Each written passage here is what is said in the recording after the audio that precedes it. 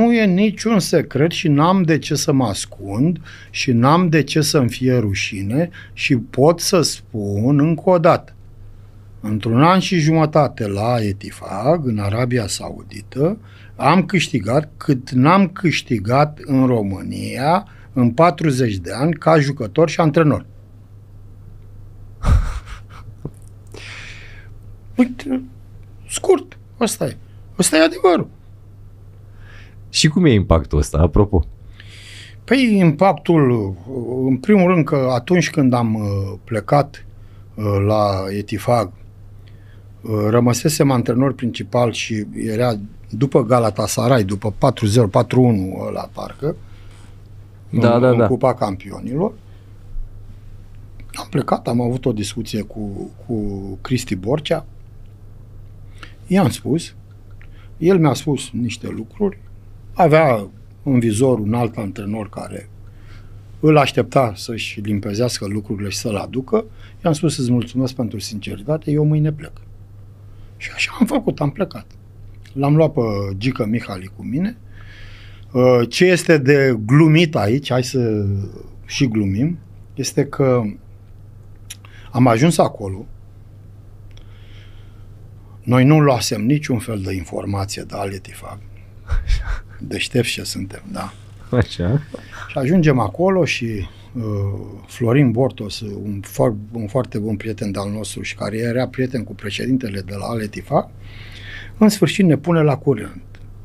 Bă, zice, cum e clubul ăsta? Cum este echipa? Păi zice, hai să spunem așa, uh, e pe ultimul loc, opa, da, bravo, uh, și următoarele meciuri uh, le aveți cu Al Hilal, cu uh, Al Nasr și cu încă una foarte bună. Zic, bravo. Și asta. Super. Și trebuie să o salvăm de la retrogradare. Și trebuie să o salvăm. Bine, aveam retur. Da. Noi ne bazam pe retur și pe pregătirea noastră și să mai aducem doi jucători, trei și un lucru pe care l-am și făcut, Dănălache pe care l-am luat cu noi. Uh, cert este că am ajuns acolo, impactul este unul teribil, pentru că treci dintr-o lume în altă, complet altă lume, complet altă lume. Deci dacă nu ești uh, echilibrat, dacă nu ești educat, Ce v-a fost cel mai greu la început? Păi, uh, în primul rând să le respecti toate regulile. Pe urmă, impactul acela vizual pe care îl ai cu, cu lumea. Ei îmbrăcați în rochiile lor, uh, ele înfășurate cu toate uh, uh, pe cap și bă, uh, regulile. Au reguli, trebuie să le respecti. Trebuie să le respecti. Pe urmă, uh, să te adaptezi la echipă. Atenție, am folosit cuvântul să te adaptezi. Pentru Ca că- antrenor? pentru că, ca antrenor, că nu e așa de ușor. uh, uh, Primul antrenament pe care l-am făcut cu Ale Tifag, uh, am zis că eram cu Gică Mihali și după aceea a venit și Dobrău și pe urmă a venit și Leo Toader. Uh, Primul antrenament pe care l-am făcut, după antrenament, echipa s-a adurat, a adunat în jurul nostru și a început să ne aplaude. Zic, opa, e de bine.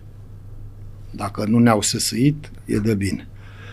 Și în felul acesta am câștigat jucătorii de partea noastră, am făcut o echipă foarte bună, în anul următor am făcut o echipă așa de bună că am terminat pe locul 3, dar au participat în Cupa Campionilor Asiei. Dar noi am plecat, să terminase contractul, acolo nu mai e. Dacă ți s-a terminat contractul, nu te mai duci să mai negociezi, că îl Nu? mai prelungești. S-a terminat, la revedere și salut.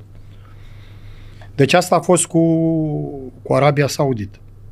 Um, și cu ce s acolo? Emiri, prinți. Păi Și sunt eu- de toate. Cum, cum asta, cum... Șeici, emiri, cum, prinți da, și cum de toate. gestionezi un astfel de patron? Că mă gândesc că miliardar, nu? Adică mai toți pe acolo... Mi- Miliardar, sigur, dar uh, gestionezi. Deci, în primul rând și în primul rând, uh, eu pun respectul pe primul plan. Atenție. Respectul pe primul. Apoi, atenție cum vorbești cu ei. E, e o treabă delicată. Uh, au și ei curiozitățile lor. De ce joacă ăla? De ce joacă altul? Dar v-am auzit spunând că v- venea și unul dintre ei, dintre patroni sau și se antrena cu echipa Asta în cuveit. Încuveit? În cuveit, Da? patronul echipei care era avea în jur de vreo 10 miliarde cam așa. Doar atât? Da, și niște castele prin Elveția și nu știu ce, Ok. prin Anglia și Așa? așa. Deci se dezbrăca și se antrena cu echipa. Pe bune? Pe cuvânt de onoare. Și respecta programul noastră? Păi dacă nu respecta, îl puneam să repete. Dacă nu cred că îl dădea ce afară din antrenament. Nu, doamne ferește, că ne, ne, ne trezeam cu tichetele de zbor. nu, dar pe cuvânt de onoare se antrena cu echipa. Inclusiv la prima cupa Asiei pe care am câștigat-o cu ei, uh, s-a antrenat cu echipa și i-am spus, l-am chemat și i-am spus frumos, am nevoie acum să nu mai intri, pentru că lucrez ceva tactic pentru mâine.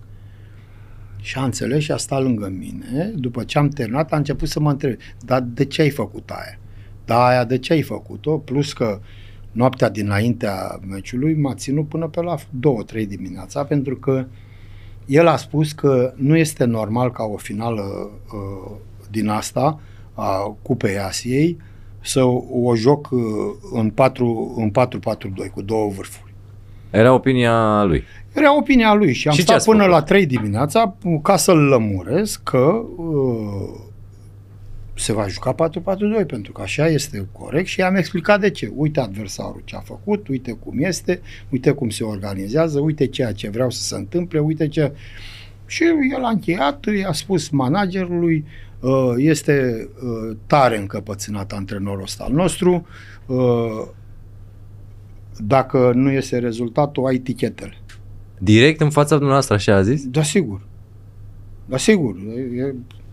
Și am jucat 4-4-2 și uh, pe pressing-ul pe care l-am făcut și cu ajutorul celor două vârfuri cu care jucam, în minutul uh, 8 am dat gol. Și după meci ce a zis? Pe urmă 11 metri 2-0, i-am bătut pe aia 4-0 și am câștigat prima cupa Asiei Așa. și el dansa pe acolo cu rochiile lui și cu alea, așa spunând, ești pentru mine forever, pe dracu.